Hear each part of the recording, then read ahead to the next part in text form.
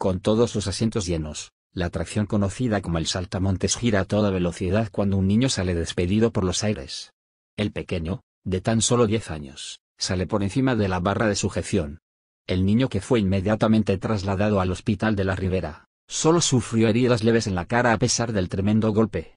La Guardia Civil se ha hecho cargo de la investigación para determinar si el accidente se produjo por un fallo en la atracción o fue una imprudencia del menor la que lo provocó.